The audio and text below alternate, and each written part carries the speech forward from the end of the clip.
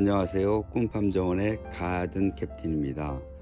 오늘은 화분떡을 벌통에 올려줄 때 좀 깔끔하게 사용하는 방법으로 화분떡 케이스가 플라스틱을 파는 게 있죠.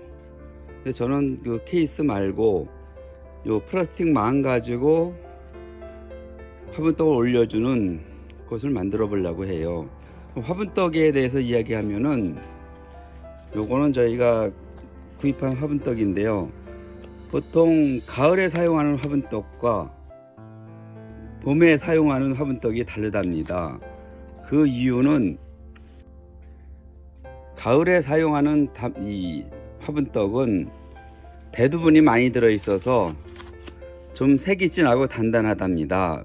왜냐하면은 겨울을 나기 위해서 벌의 이 몸을 그 영양분이 단단하게 해줘서 겨울을 날 수 있게끔 해주기 위해서랍니다. 하지만 반대로 봄에 사용하는 화분떡은 화분이 많이 들어 있어요. 그리고 대두분이 적게 들어 있어서 보시는 것 같이 색이 연하면서 좀 부드럽습니다. 이것은 화분이 많이 들어 있고 많이 들어 있는 화분에다가 설탕이 들어가 있어서 물렁물렁한 거고 이 가을용 화분떡 월동하기 위해서 먹이는 화분떡은 대두분이 많이 들어 있어서 아 대두분은 콩가루입니다. 탈지 콩가루가 많이 들어 있어서 아 탈지는 우리가 그 콩기름이죠. 콩기름을 콩에서 콩기름을 빼고 난 그 콩박 그 박을 탈주분이라고 해요. 그것을 갈아서 아주 미세하게 갈아서 사용하는 것입니다. 그래서 이것은 단단하면서 색이 진하고 봄에 사용하는 화분떡은 이 중국산 유채 화분 또는 중국산 차 화분이라고 하네요. 그 화분이 많이 들어 있어서 부드럽고 벌이 잘 자라도록 육아를 잘 할 수 있도록 화분떡이 이렇게 성분이 다르답니다. 아 약간 빗나갔네요. 오늘 할 일은 이 플라스틱 망을 화분떡 크기로 잘라서 이 벌통에 소초 위에 놓을 때 요 화분떡을 놓게 되면은 소초가 지저분하지 않아 작업할 때 편하다고 편하게 해주기 위해서 이걸 사용하고 있답니다. 오늘 요 플라스틱 망을 자를 때 여기 현재 부위는 가위가 있고 전정가위가 있고 요거는 전지가위요. 전지가위가 있고 요거는 함석가위입니다. 그래서 제가 사용해 보니까 플라스틱 망이라 이 전지가위로 사용하는 게 가장 좋은 것 같아요. 그래서 전지가위로 화분떡 길이에 맞춰서 잰 다음에 전지가위로 자르게 주게 됩니다. 이렇게 잘라 주어서 화분떡 크기로 잘라주게 되면은 잘라주어 벌통 소초 위에 요 잘라준 걸 넣고 그 위에 화분떡을 넣으면 작업할 때 화분떡이 간단하게 깔끔하게 올라오기 때문에 깔끔하게 떨어지기 때문에 벌통 관리하기가 쉽답니다. 일단은 자르고 나서 이야기할게요 일단은 화분떡 망을 화분떡 길이에 맞춰서 잘랐답니다. 요 길이에 맞춰서 잘랐고 요걸 다시 화분떡 폭에 맞춰서 자르면 되겠지요.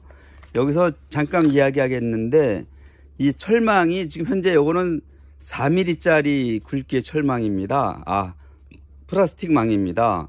근데 이 4mm 이 두께의 플라스틱 망은 약간 너무 두꺼운 것 같아요. 여러분이 사용하실 때는 2mm나 2.5mm 그 플라스틱망 두께를 사용하시는 것이 사용할 때 더 좋을 것 같은 느낌이 든답니다. 이 모든 것이 화분떡 받침도 시중에 여러 가지 종류가 나와 있는데 그 중에 하나를 딱 선택해서 사용하시는 것이 가장 좋답니다.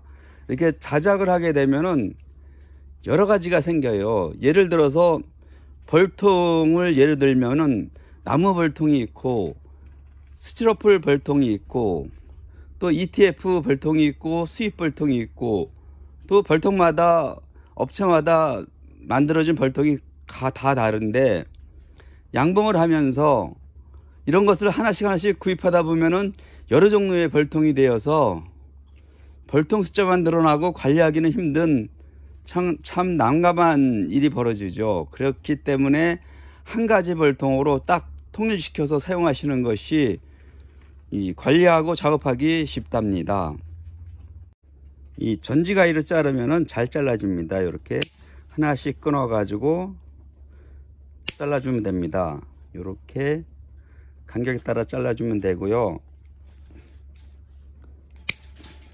이렇게 자른 이 철망, 아, 플라스틱 망을 이 보통 이 플라스틱 망은 철물점에서 구입해도 좋겠지만 인터넷에서 구입하세요. 왜냐면은 철물점에 내가 원하는 사이즈가 없을 수도 있고 또 철물점은 종류가 다양하지 않지만 인터넷에서 철망 업체에서는 여러 종류의 뭐 하다못해 스테인으로 만든 것도 있고 철망으로 만든 것도 있고 이렇게 플라스틱으로 만든 거 다양한 종류가 있으니까 인터넷을 구매하시는 것이 아마 그 비용 면에서나 아니면 시간적 노력 면에서나 좋을 것 같습니다. 이렇게 자른 다음에 이 벌통에 넣어줄 때 이 화분떡을 칼로 이렇게 끊어줘야겠지요. 요 칼로 끊어준 다음에 요거를 철망을 소초 위에 올렸고 이렇게 해서 올려주면은 이렇게 올려주는 거죠. 올려주면은 화분떡을 먹었, 먹고 잔여 화분떡을 꺼낼 때 깔끔하게 떨어지겠죠. 벌통에서 떨어지겠죠. 그래서 이 작업이 깔끔, 깔끔하다고 해서 이 작업을 해주는 것입니다. 물론 이 양봉을 하시는 분들이 자기만의 다양한 노하우가 있고 또 화분떡 뭐 플라스틱 케이스로 되어 있는 것도 있고 이렇게 자작 잘라서 사용하는 방법도 있는데 모든 것이 다 장단점이 있습니다. 그런 자기만의 그 장점을 살리고 단점은 또 커버해 가면서 양복을 하는 것이 가장 좋은 것 같아요. 뭐 어느 것이 좋다 나쁘다라기보다 내가 사용하면서 내가 사용하기인데 익숙해지면은 그것이 제일 좋은 것이랍니다. 오늘 오늘은 아 이것을 그 벌통에 놓는 것까지 동영상을 찍어야 되는데 엊그저께 벌을 깨웠기 때문에 앞으로 한 보름 후에나 이 화분떡을 넣을 수 있어서 그때 가서 올리는 것을 다시 한번 영상을 찍어서 벌통에 이 화분떡을 올리는 것을 보여드리겠습니다. 오늘은 화분떡에 받쳐주는 프라틱 망을 구입하여 자르는 방법까지 설명하였습니다. 감사합니다.